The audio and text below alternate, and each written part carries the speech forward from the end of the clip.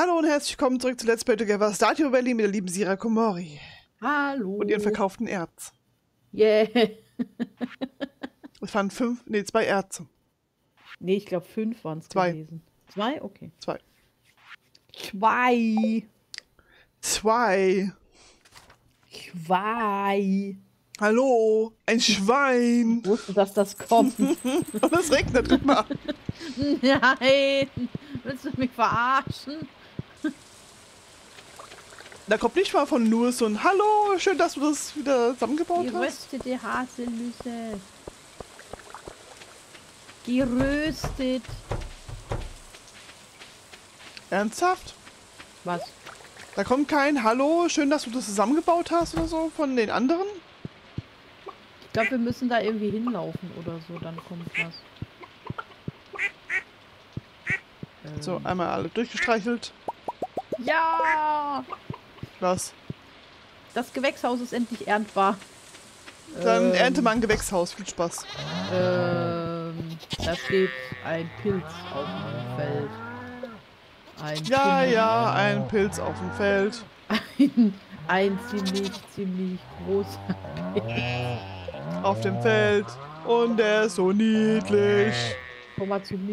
Gleich. Ich möchte wenigstens noch mein Zeug hier sammeln.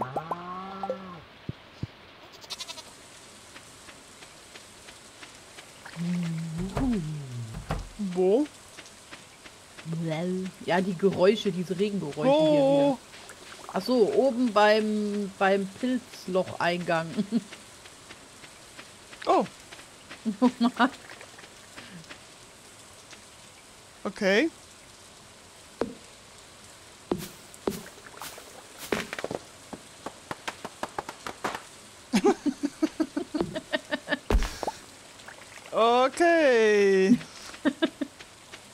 Ja, der hat, wenn man die Pilzhöhle gemacht hat, hat man eine geringe Wahrscheinlichkeit, dass ein Baum zu einem Pilz heranwächst, statt zu einem Baum. Okay. Klingt logisch.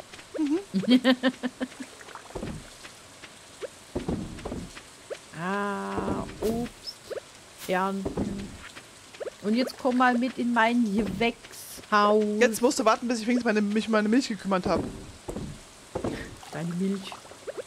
Die Milch. flup, flup.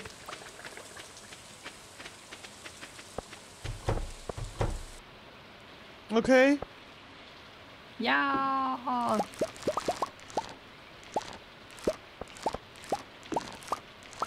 Ich darf es ja nicht verkaufen, ne? Nee, ernten darfst du, aber verkaufen nicht.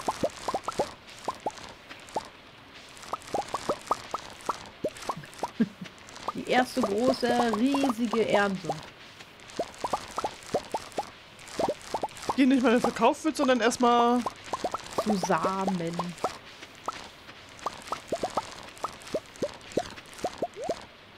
Ja, Ich umarme dich auf dem Feld. Unsere erste große Superernte. Mhm.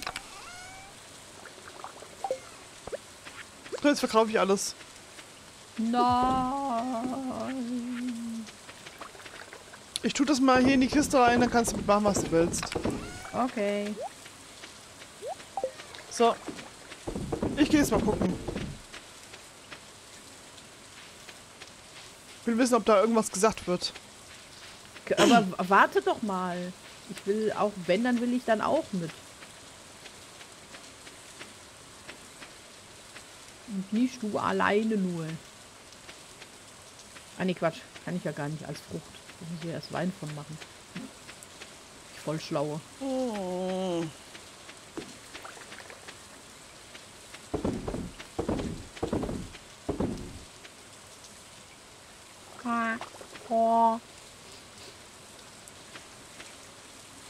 Ne, ne, ne, ne, ne, ne, ne, ne. Zack, auf einmal ploppt alles auf hier.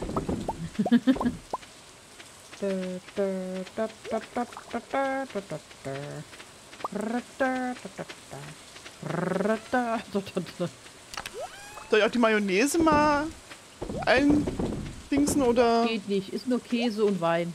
Achso. Kein Trüffelöl. Nein.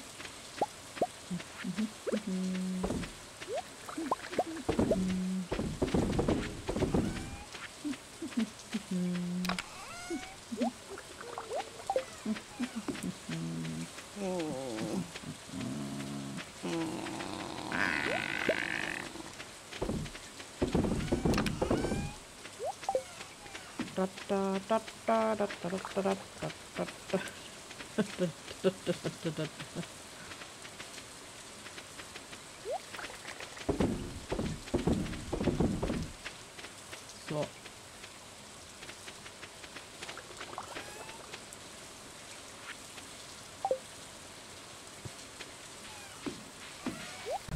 Was war das eben? Flupp. Keine Ahnung.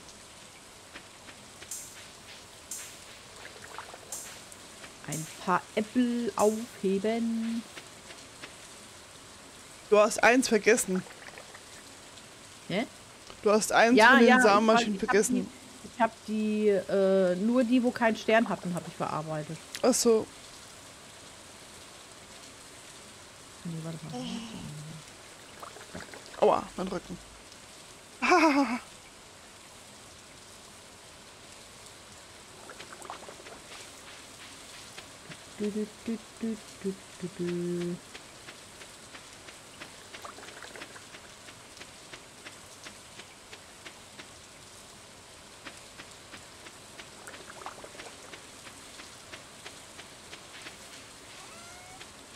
So, jetzt können wir.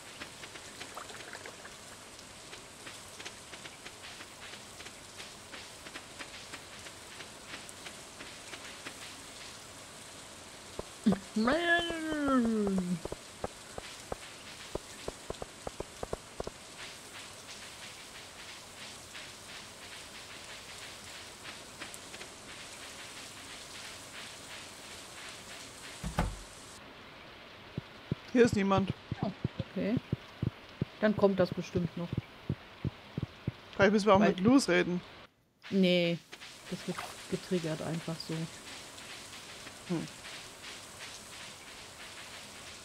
Was ist eigentlich da hinten aufgegangen? Ne? Wo ist irgendwas aufgegangen? Da, wo die Viecher waren. Ach so, das ist oben im Berg, am Berg neben der Mine. Da ist so ein, da ist so ein Felsbrocken entfernt worden und jetzt, äh, jetzt wuschelt hier äh, Erz durch die Flüsse. Musst du auch einmal hochlaufen und dann wird das getriggert. und Ja, dann bin kriegst- hochgelaufen. Ja, und dann kriegst du gezeigt, wie das geht. Ah ja. Es ist merkwürdig. Ich bin mir nicht sicher, was dieser Fels zum Verschwinden gebracht hat. Dieser Fluss kommt aus den Tiefen des Berges.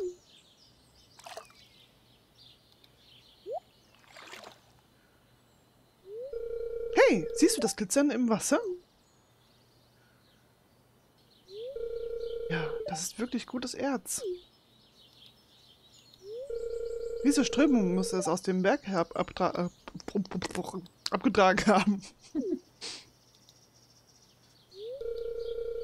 Du weißt, was das heißt, oder? Wir können mit, den mit der Erzwäsche beginnen.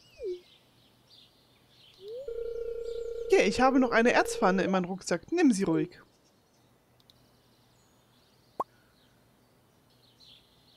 Kupferpfanne. Solltest du je Erz im Wasser glitzern sehen, kannst du diese Pfanne benutzen und hoffentlich fündig werden. Du erhältst Kupferpfanne. Die hau ich eher auf den Herd.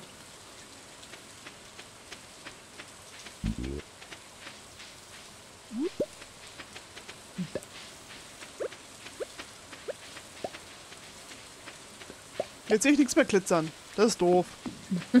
Ja, da macht dann so pling. So als würde, als würde gerade was ins Wasser fallen und dann ist irgendwo so ein Erzdingen, wo du aufheben kannst. Betonung auf irgendwo. Ja, irgendwo. Ach du Scheiße. Ach du Scheiße. Wie sieht das denn hier aus? Wie Wutz.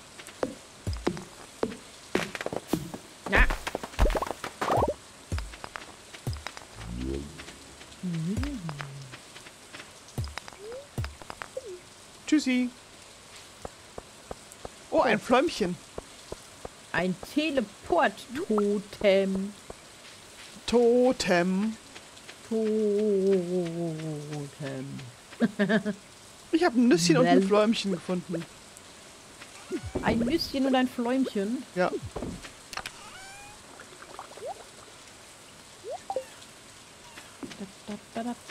Ratatatat.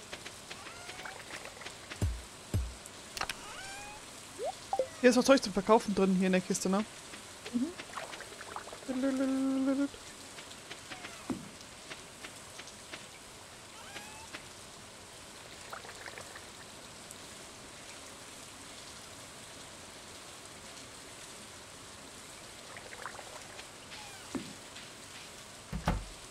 Ah, Entschuldigung.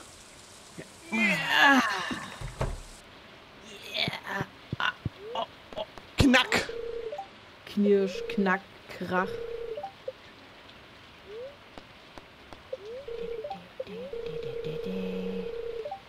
Morgen wird es wolkig mit Windböen den ganzen Tag hindurch. Ja und? Wir hätten uns echt das Totem sparen können. Wieso? Es wird windig und wolkig. Es regnet ja nicht. Hm. Aber ja, wir hätten uns das Totem sparen können, weil es direkt danach ohne Totem auch wieder geregnet hat. Ja, Kann man ja aber nicht wissen, ne? nee. Aber unser Kind müsste bald kommen. Ja, in 14 Tagen hieß es da ja. Dauert noch wenig. Zwei, drei Tage hieß es doch, oder? Nee, 14 Tage hieß es. Ach, Menno.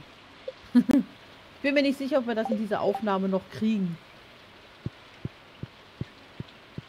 Hm. Ah. Wird sich zeigen. Jupp. Alter.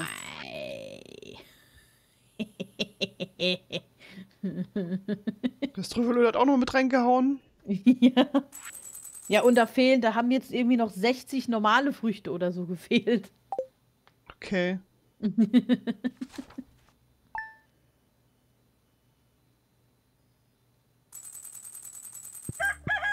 176.000. Was sagt Wetter? Morgen wird es klar und sonnig sein. Du armes Schwein. Ich hab das Hinterzimmer des Ladens aufgeschlossen. Komm vorbei, wenn du Zeit hast. Jetzt beginnt der neue Content. Yay.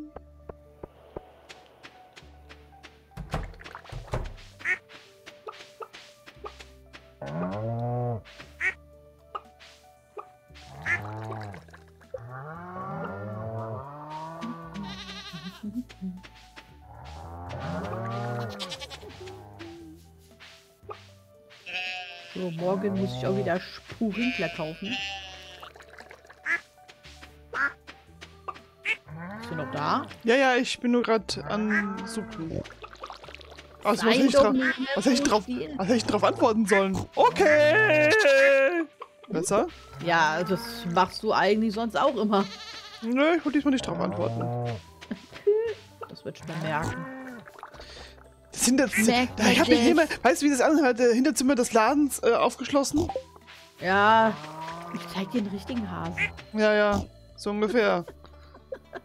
Ich zeig dir einen richtigen Hasen. Herr Lehrer, irgendwas stimmt mit Hasi nicht. Ja, das ist kein richtiger Hase. Oh, eine rostige Spore. Hund, Katze! Maus. Ich habe Krach! Bomben. Ich habe Bomben in einer Kiste gefunden. Oh, ich habe, glaube ich, auch das Erzding-Bumm gehört. Ich nicht, ich habe nur einen Bam gehört. Wo ist, wo ist meine Pfanne?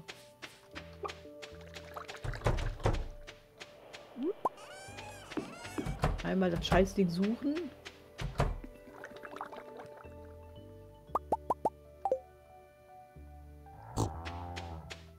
Habe ich euch jetzt alle gestreichelt, ihr Kackiviecher?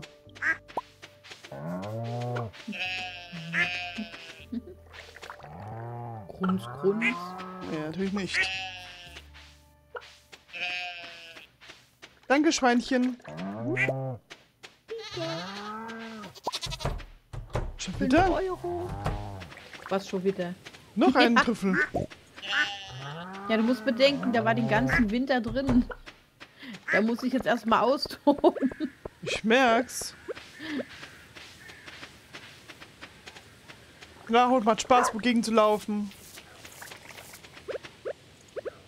Was war das eben? Was war was? Ach, was in die, in die, in irgendwelche, Ki- in irgendwelche Tonnen geschmissen. Ja, ich hab halt den... Was freut sich der Hund hier? Klatsch, klatsch, klatsch, klatsch, klatsch. Nein. Ja.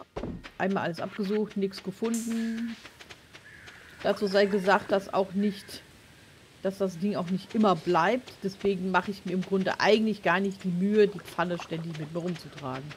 Kann ich weil die verstehen. Wahrscheinlichkeit, weil die Wahrscheinlichkeit, dass man das findet, gerade wenn man irgendwie am Fluss oder in den Bergen oder so entlang läuft, äh, ist verschwindend gering.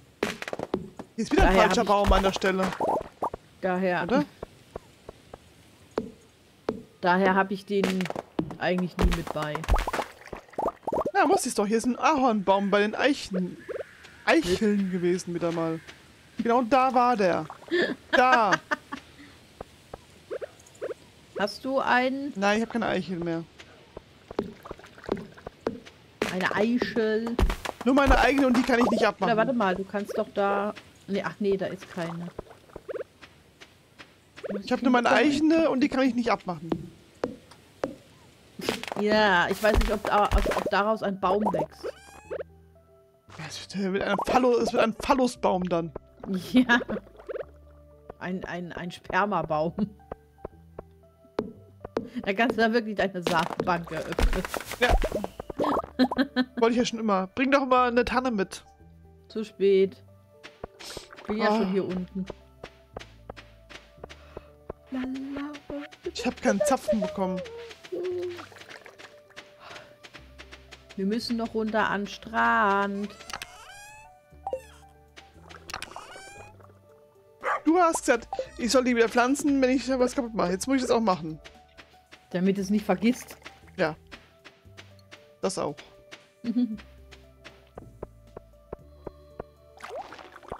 So, Ah, hast du es gehört? Das Glucke? das höre ich öfters hier. Ja, das hörst du erst, seitdem das Erzdingens ist. Nee, das höre ich hier immer. Ja gut, dann ist es von, von denen hier. Ja, Weil die gluckern. Was anderes die, Ja, die nicht. gluckern aber die gluckern anders. Das, das andere war ein höheres Gluckern. nicht drauf geachtet.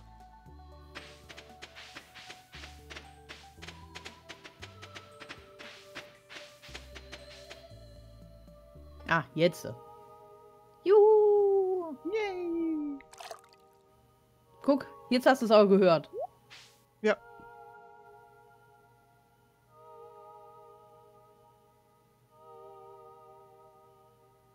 Freude.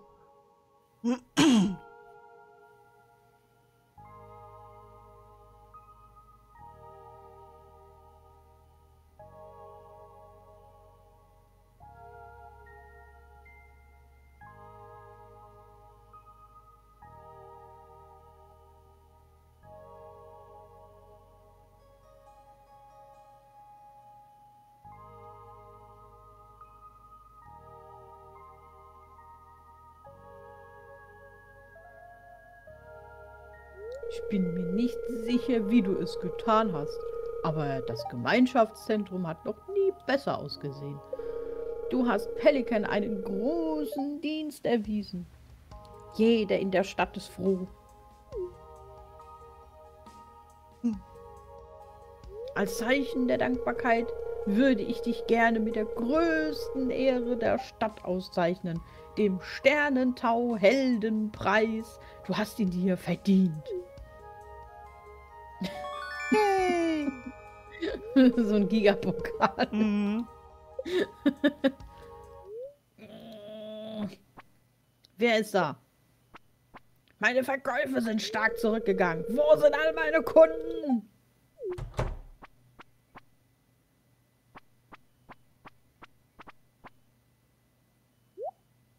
All meine Kunden hier? Das ist nicht gut. Wie fühlt sich das an? Erledigen wir das doch auf die altmodische Art, oder? Lasst uns vernünftig sein. Was meinst du? Die altmodische Art ist Okay. lustiger. Ha, das bedeutet gar nichts. Ich gebe einfach 75% Rabatt im Schlussverkauf und meine Kunden werden wieder angekrochen kommen, um mich um Vergebung zu bitten. Du wirst schon sehen. Nein, nicht dieses Mal, Morris. Es ist an der Zeit, das ein für alle Mal zu beenden. Ne? Und was schlägst du vor? Äh, Und wie schlägst du vor, das zu machen? Ernsthaft? Primitiv. Wenn du zu viel Angst hast zu kämpfen, dann bring eben einen deiner Mitarbeiter mit. Oder sind alle Joje-Angestellten solche Feiglinge? Beleidige mich so viel wie du willst, aber wage es ja nicht, den guten Namen von Joja in den Dreck zu ziehen. Pierre, ha, nicht schlecht. Du bist sogar noch matschiger als deine Obst- und Gemüseabteilung. Und deine Schläge sind genauso wie Joja. Quantität über Qualität. Schnappt ihn euch!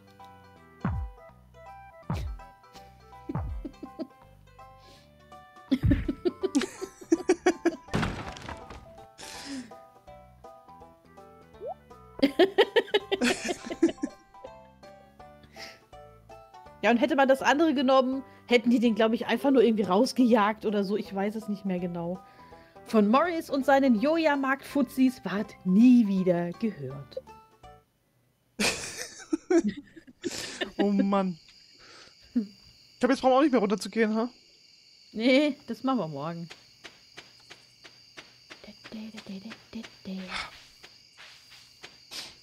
Es juckt mir die Nase gerade so hart. Dann juck. Vor allem, dir juckt das immer so hart, weißt du? Ja, mega hart.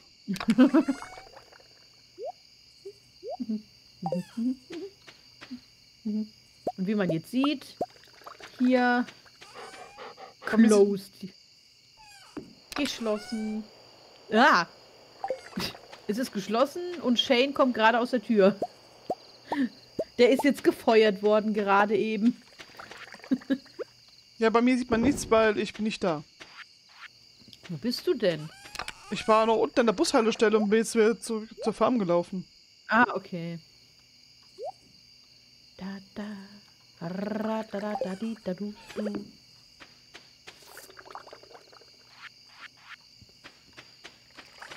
Den schweren, den schweren Betonklotz plus Pokal oben drauf erstmal heimschleppen. Ja.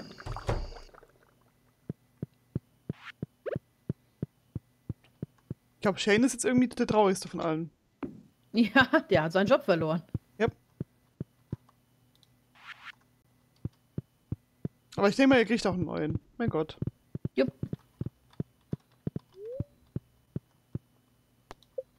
Gute Nacht. Gute Ah. Nacht. Hui, hui, hui, hui, hui. Null, null, null. Null, null, null. Hofarbeit nichts gemacht, da nichts gemacht. Wir sind faule Socken. Genau. Es ist Freitag. Freitag. Freitag. Oh, Post. Piers Gemischtwarenladen hat jetzt sieben Tage die Woche geöffnet. Yay, kein Ruhetag mehr. Uh. Lass mich raten, dafür kommt jetzt Shane für ihn, bei Ihnen an. Ähm, nicht, dass ich wüsste. Ja, ja. Guckt halt einfach den ganzen Tag jetzt daheim rum. Und sollte sich die Hucke dicht. Der Arme. Ja. Glaubst du vielleicht, der hat nach der Arbeit irgendwas anderes getan vorher? Der ist da auch immer direkt, direkt in die Kneipe gegangen. Hat er keine Familie gehabt? Doch, der wohnt bei Mani und... Natürlich hat er Familie. Ja, aber Mani ist ja mit dem Ne? Ja, die ist, es ist die Mutter. Ach so, wollte schon sagen. Die ist ja eh beschäftigt mit jemand anderem. Ja. Die hat den ganzen Tag entweder mit den Kühe zu oder, oder versteckt sich nachts mit Louis in irgendeinem Gebüsch. Ein neues Küken ist geschlüpft, das heißt Trete. Und dann kommt noch ein zweites mit mich. Nee, ist eigentlich nicht Trete. Trete. Ja, nee, ist Tröte. Tröte. So, Tröte, du bist Ja. auf die Welt gekommen. Stinkt's. Oh. Jetzt Lalülala. Ja, lalülala. Hallo. Was geht denn bei euch wieder ab? Ja, ich habe keine Ahnung. Sag mal, Großbrand oder was? Ich weiß es nicht. Das äh, laute, das laute, der laut, die lauten Sirenen kamen jetzt übrigens auch nicht durch mein Fenster, sondern durch die Vordertür hat man die gehört. Okay. Die sind vorne an der Hauptstraße vorbeigefahren. Ich höre die hier nur bei mir, sag ich mal, nebenan durchs Fenster in Anführungsstrichen, wenn sie auch hier auf der Seite von oben runterfahren. Wenn sie vorne an der Hauptstraße vorbeifahren, dann höre ich die tatsächlich lauter von der Haustür her. Was Okay. eigentlich ja auch logisch ist. Ja.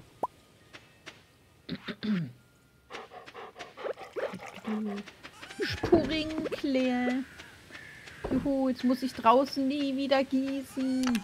Nie wieder. Ja, und da unten liegt ein Trüffel und noch eins. Ein Trüffli. Ein Truffli. Oh, ich muss jetzt aufstoßen. Ich entschuldige mich dafür. Viel Luft im solange Bauch, du hier oder? nicht laut rumrülpst, Nee, ich versuch's zu unterdrücken. solange du nicht laut rumrülpst, ist alles gut. Boah. Fürchterlich ist es nur dann, wenn man es einfach so bläh, weißt du, ohne Rücksicht auf Verluste oder so, das kann ich nicht ab. Es kann schon mal passieren, dass er mir auch so rauskommt, aber äh, Ja, Das das ist ich ja nicht gewollt. Nö. Wenn ich da an so manch anderen denke. nee. Hm, was? Nee. Nee, ich will sowas nicht. So, ja, ich auch nicht. Also ich mache das nie mit Absicht. Hat auch niemand behauptet. Doch, boah. So, Axo Strand, Strand, Strand, Strand. Ja, warte, ich komme, ich komme. Strand.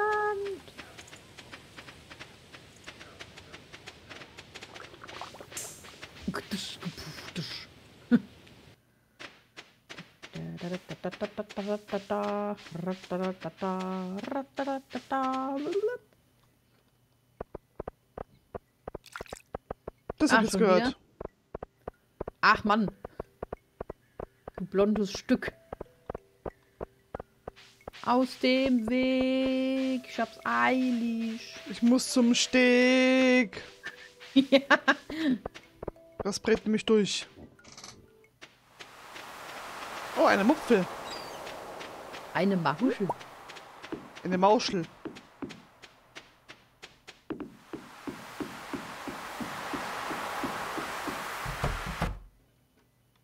Ja.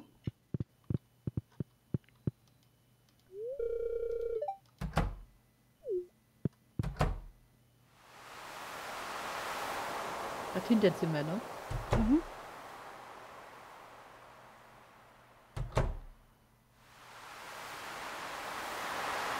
Ei, ein trauriger Anblick, nicht wahr? Sie war das Boot meines Vaters, hat ihm über 50 Jahre lang gut gedient.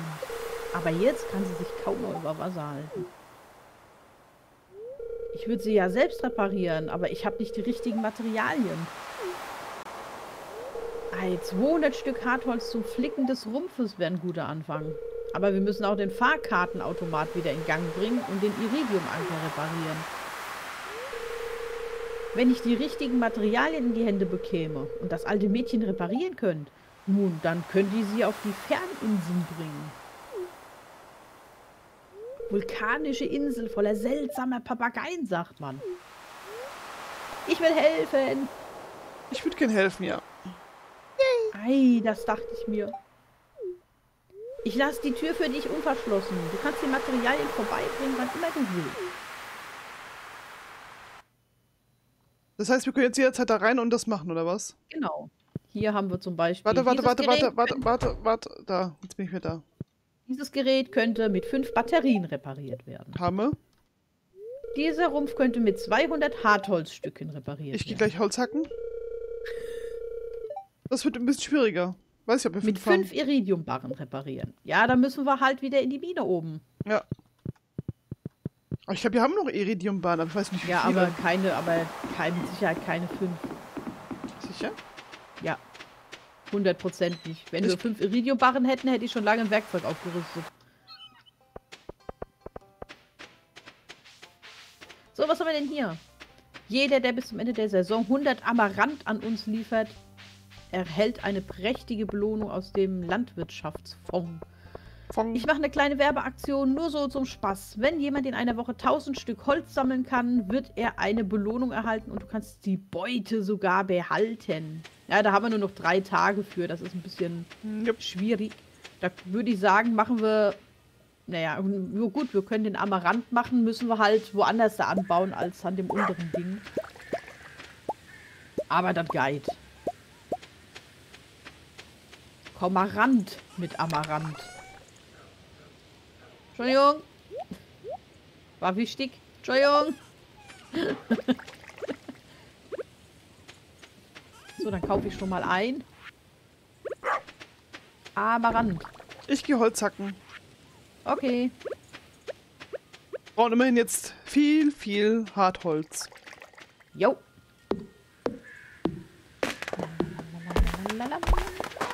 Hund geht aber aus dem Weg. Alter, die flippen gleich aus. War von dem Weg, ey. Das blöde Viech. Ach, by the way, ich glaube, wir brauchen sogar 200 Amaranth. Nur 100 für dich zum Ab... Nee, Quatsch, das ist ja, zählt ja für uns beide. Geh mal hoch. Uh, ja, ich muss erstmal da hinkommen. Ich muss ja erstmal nach Hause kommen. Ein Zug.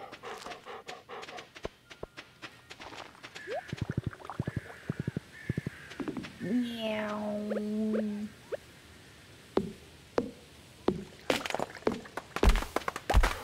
La di da, la di da di da. Da, Und di, sind da, da. 33 Minuten. Dann sehen wir uns Okay, Moment. nicht in der nächsten Folge. Das ist schön, dass der Zug hier im Geräusch vorbeifährt, aber kein Zug da ist. Weil gerade so eine Sequenz läuft. Oh, Argonis, ich habe auf dich gewartet. Habe ich dir jemals erzählt, dass ich mal verheiratet war? Äh, der Zauberer übrigens, ne? Mhm. Komisch. Ich weiß, für einen Mann wie mich. Aber es ist die Wahrheit. Der Zughalter. Meine Ehefrau und ich waren für viele Jahre zusammen, bis, bis ich einen Fehler gemacht habe und sie mich verließ. Ihre Wut und Missgunst waren so stark, dass sie grün anlief und begann durch die Landschaft zu fliegen und alles und jeden zu verfluchen. Als ich davon erfuhr, versiegelte ich die Passage zu ihrem Zuhause, weil ich befürchtete, dass unschuldige Stadtbewohner ihrer schwarzen Magie verfallen könnten. Aber jetzt muss der Durchgang geöffnet werden. Als wir uns trennten, stahl sie meine magische Tinte. Ich muss diese magische Tinte zurückhaben. Ich würde es selbst erledigen, aber ich, ich kann sie nicht wiedersehen. Darum benötige ich deine Hilfe. Um die Passage wieder zu öffnen, benötigst du einen dunklen Talisman. Sprich mit Krobus in der Kanalisation. Er sollte wissen, wo du einen finden kannst. Ich zähle auf dich. Ich glaube, Solltest du so, es schaffen, meine magische Tinte zurückzuholen, werde ich dich reich belohnen. Und da war er weg. jo. Und wir sehen uns in der nächsten Folge. Moment. Und da fliegt die, die, die Frau von oben vorbei. So, jetzt können wir uns in der nächsten Folge sehen. Okay, dann tschüss.